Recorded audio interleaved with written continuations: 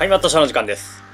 またまた予言が当たりました。100年ごとに同じようなことが起こるという予言にたびたび言及しておりますが、1922年に起こったことを覚えてるでしょうかそれが2022年に起こるというような話をしたのですが、その中でも今回取り上げるのは、ツタンカーメンの墓発見が当たったということ。ツタンカーメンの墓発見の何がすごかったのかというと、3000年以上の月日が経ってるのにもかかわらず、他の墓と違ってほとんど洞窟を受けておらず、黄金のマスクや様々な副葬品が無事だったということが、世紀の大発見と言われ、最も有名と言っても過言ではないファラオになったんですね。その100年後の2022年に世紀の大発見と言われるものが新たに発見されるのではないかという話をしていたんですね。そして世紀の大発見が日本でされました。結構話題になっているあれになりますが、実はあれが見つかったのが去年の2022年12月なのです。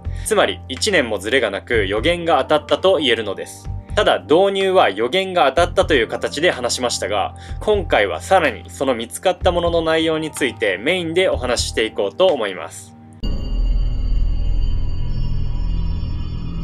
もう分かったかと思いますが、4世紀後半に作られたとされる奈良市の富雄丸山古墳から縦型銅鏡と蛇行剣というものが見つかりました。何がすごいのかというと、縦型の鏡は今まで見つかったことがなく、蛇行剣は見つかった中で最古の年代のものかつ最大の大きさとなっていることです。結構ここの視聴者さんだったら邪馬台国の卑弥呼の時代の後から大和王権が発展していく間の4世紀頃は空白の4世紀と言われるくらい分かっていることが少ない時代となっていることはご存知の方も多いかと思います。そんな空白の時代の大発見がされたので歴史が覆ることになるのではないかという話になります。ちなみに空白の4世紀というのは細かく言うと中国の歴史文献に記載されていない266年から413年になるのでだいたい150年間くらいの話になります。見つかったものに関してさらに詳細を見ていくと蛇行剣は過去見つかったものの中で最大でも約85センチ。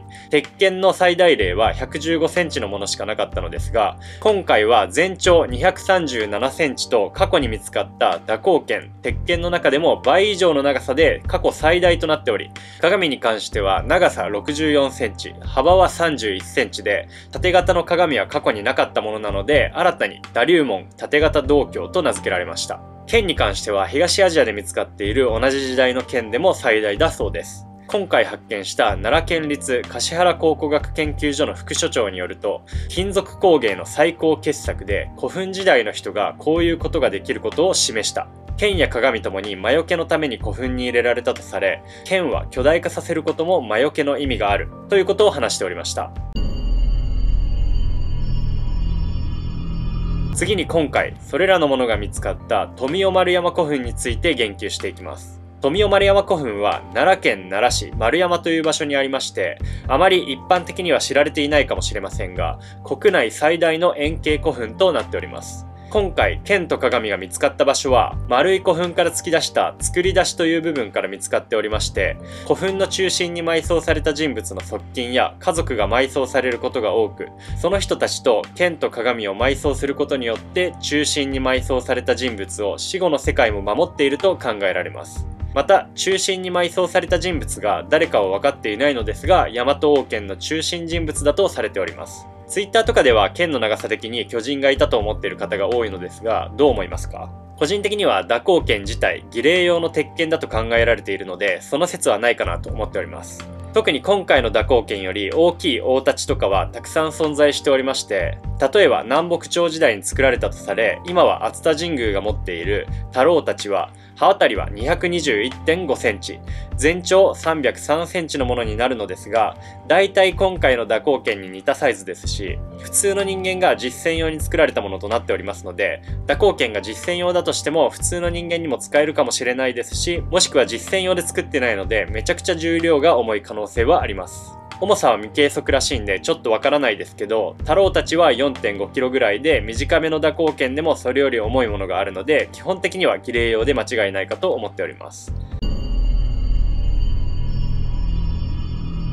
ではさらに神話の話に入っていきます。もともと日本神話の初代神武天皇が統制し九州から大和の国を取ろうとやってきます。そこで生駒山を本拠地とする長須根彦が待ち構えていて戦うという話があるのですが、古事記では富の長須根彦や富彦とも表記されます。彦は彦でもあり、男性につけられる名前なので、それを抜くと富だけ残ります。富は富でもあり、おは男性を表す言葉なので、富彦イコール富代であると言えるのです。つまり今回の世紀の大発見がされた場所、富代丸山古墳の富代とは長須根彦のことが示されているのです。だからといって長須根彦が埋葬されているわけじゃないですけどね。実際神話の内容や天皇の即位年がどれだけ正しいかわからないので0%とは言えませんが富雄丸山古墳の時代は16代仁徳天皇くらいの時代であり神武天皇や長須根彦の時代とは数百年もずれてはおりますそもそも天皇の敵として現れたわけですから大きな古墳が作られることはないでしょうねでは実際の被葬者は誰なのでしょうか？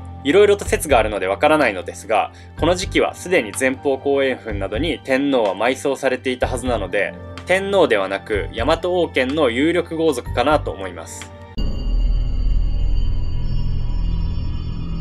次に神社の話をすると、長須根彦はやはり天皇の敵だったので、公に祀られる神社はないかと思います。富雄丸山古墳のすぐ近くに、総のみあがたにいます神社という神社がありまして、ここにはスサノオと妻の櫛灘姫と竹千早の御事という神様が祀られております。竹千早の御事は雨の小屋根の御事のことだとされておりますが、雨の小屋根の御事とスサノオにあまり関係がないような気がしますので、口伝によれば、やはりこれは長須根彦のことを隠して祀っているとのことです。特に明治時代以降は天皇をより大切にしたため、神武天皇を敬わなければならなくなったので、敵対していた長須根彦が祀られていることは隠されたらしいのです。長須根彦はにぎはやひという神を主君としており、そのにぎはやひはスサノオの子供説もあることから、スサノオと長須根彦は間接的に関係があるのではないかとも考えられるので、このスサノオ、櫛灘姫、長須根彦という祭神の並びは、雨の小屋の御よりは自然なのではないでしょうか。しかも、この神社の場所の名前は、富雄の隣の三つガラスという地名で、三つの唐臼という臼の名前から三つガラスになったと言われておりますが、サンバガラスを表しているのではないかとも推測してしまいます。サンバガラスとは優れた3人のことを言うのですが、その元エピソードをお話しすると、大国主とスクナビコナが有馬に降臨した際に、サンバの傷ついたカラスが水たまりに入っていました。数日後、カラスの傷が治ったのを見て、ニシンが調べたところ、それが温泉だったことが分かったというエピソードがあります。つまり有馬温泉のことですね。大国主の義父もスサノオなので、この辺の神様たちは関係が深いかなと思いました。また、にぎはやひは長須根彦の妹の三日式屋姫と結婚しており、にぎはやひ、三日式屋姫夫妻が祀られている八田にいます串玉彦神社が気になりました。これも比較的近くにあるのですが、ヤタって入っていると先ほどもカラス出てきましたし、ヤタガラスも関係してくるんじゃないかなとも考えてしまいます。実は先ほどのサンバガラスの話は、江戸時代に有馬の当選神社の文献で初めて登場するらしく、古事とされておりますが、もしかしたらそんなに古くない話かもしれません。そしてこの当選神社には、先ほどの大国主と少なびこなの他に、熊野くすみの御事、つまり熊野権現という熊野の神が祀られているのですが、熊野といえばイコールヤタガラスですよね。そして熊野権現は熊野三所権現といって、スサノオ、イザナギ、イザナミを表すようなので、ここにもスサノオが出てきますよね。そして神武天皇を導いたヤタガラスは敵対した長洲彦側にも密接に関係しているのではないでしょうか。今回分かったのはここまでですが、今回はガチガチの考察ではなく、なるべく難しくないようにさらっとお話しさせていただきました。最後の部分だけ簡単にまとめると、今回の大発見が見つかった場所は、神武天皇と敵対していた長須根彦の本拠地。近くにはスサノオと隠された長須根彦が一緒に祀られており、長須根彦の主君のにぎはやひとスサノオも親子関係説がある。長須根彦が祀られている神社や地名には、ヤタガラスに関係ありそうな名前が付けられている。ヤタガラスとスサノオが関係しそうなエピソードもたくさんある。というように古墳からは少し外れた話になりましたが、結構今回の地名などから面白いことがわかるなと思って解説してみました。予言が当たったという導入から神話考察みたいな形になったので、急に難しくなったかもしれません。ちなみにワンピースでも日本史と同様に空白の100年というものがありまして、小田先生はやはり日本や世界の都市伝説から物語を作っていて面白いなと思っております。現実の世界は今時代の変わり目なので今回のような世紀の大発見のようなことがこれからたくさん起こっていくかもしれません。